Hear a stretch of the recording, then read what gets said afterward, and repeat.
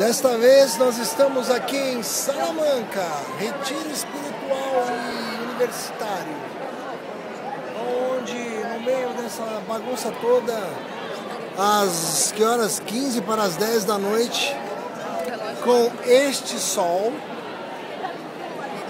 faremos o brinde salamanquês. Saúde a todos!